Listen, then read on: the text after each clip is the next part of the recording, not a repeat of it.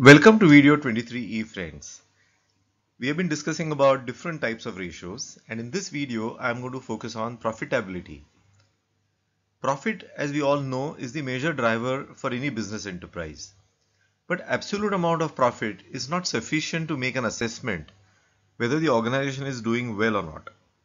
We need to look at profit margin that is compare profit in relation to the amount of sale that has taken place. So profitability ratios exactly focus on that. Let's discuss some of those.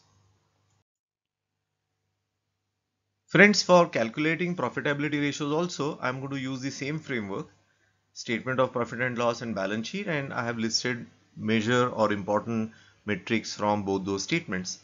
But as you would have guessed it right, when it comes to profitability ratios, what really matters is only the statement of profit and loss.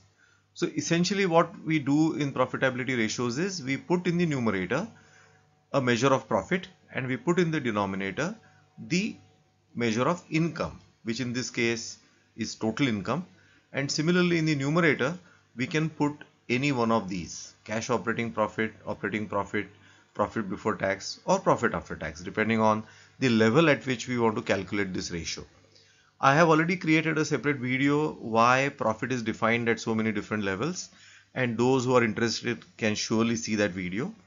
Uh, for now I'm just going to focus on one important issue whether in the denominator it should be total income which includes both core and non-core income core income being the sale of goods and services and non-core income being the incidental income such as sale of scrap, sale of waste material, then sometimes uh, income from investment and so on.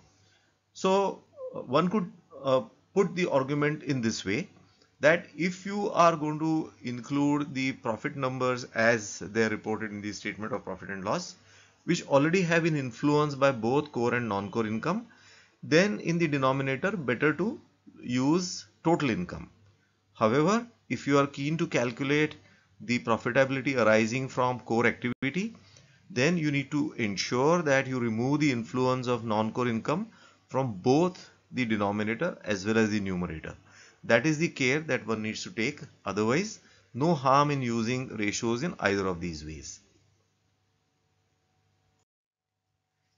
So uh, one of the measures which is often expressed in discussions in business discussions within the organization is the concept of margin so you may hear these conversations such as gross margin or EBITDA margin or operating margin or PBT margin or net profit margin. So essentially the word margin also conveys that it is a ratio. It is a ratio exactly the way that we discussed on the previous slide. You put a profit number in the numerator and divide it by either total income or sales as the case may be. Now, uh, we cannot have a standardized profitability ratio across companies or even industries because the business reality varies from industry to industry. And therefore what we need to do is we need to make the right comparison. And the way to make the right comparison is we can look at our own historical trends.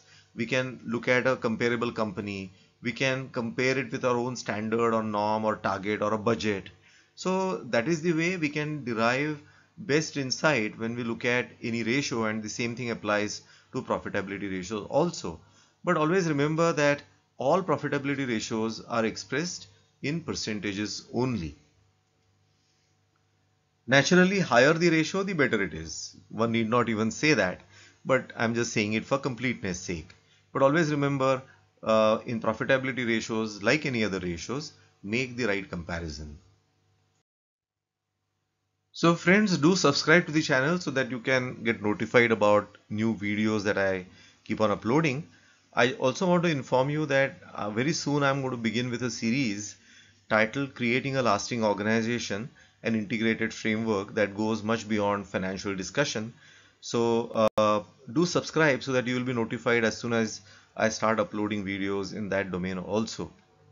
Thank you for viewing.